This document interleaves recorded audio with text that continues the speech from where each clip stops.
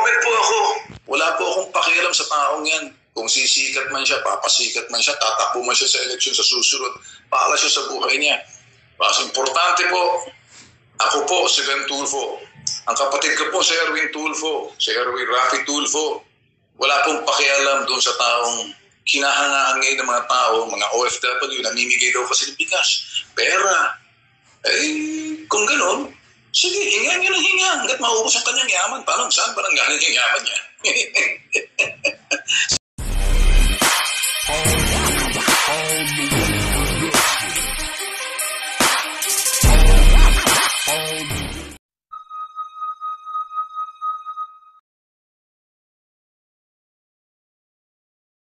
Ah, yung mga basher ko po, yung mga taong pilit akong binabagsak, ay gagawin ho talaga nila lahat para makuha ang atensyon ng iba't ibang ah, tao na baka sakali na pagsabungin ho kami.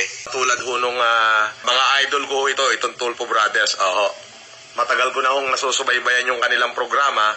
Bata pa ako ay ah, nasusubaybayan ko na ho. Ito hinahangaan ko ho sa mga katapangan pagdating sa serbisyong publiko. Ah, gusto ko lang liwanagin, sir, ah, mga idol. Una po ay ah, kung sino man ho yung mga gumagawa ng account ko, ng mga account para iugnay po ako sa inyo, wala po akong kinalaman dyan. Ah, ako lamang po ay isang pribadong ah, mamamayan na nakapag-isip po ng, ah, ng pagtulong ngayong panahon ng epidemya. Kumbaga, isa lamang po akong kinasangkapan ng ating dakilang may kapal para makapagsilbi po nang magkaroon ho ng kahulugan at ng kasaysayan ng aking buhay.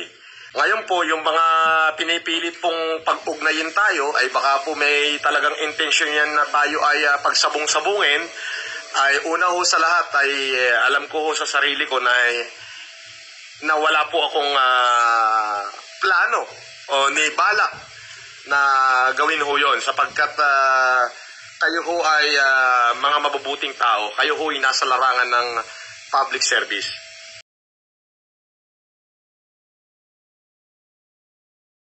Wala po akong pakialam sa taong yan. Kung sisikat man siya, papasikat man siya, tatakbo man siya sa eleksyon sa susunod, paala siya sa buhay niya. Mas importante po, ako po si Ben Tulfo.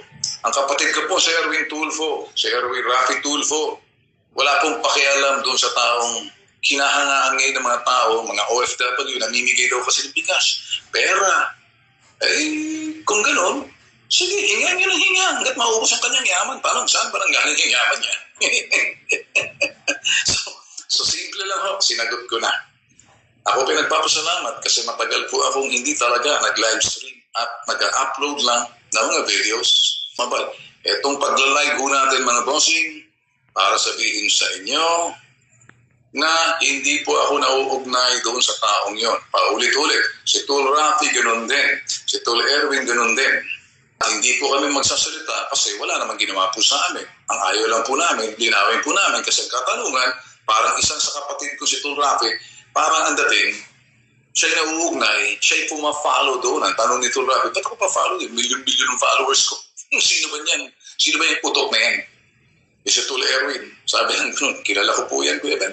Hindi ko pinapaso, pinapatulan yan. Bakit?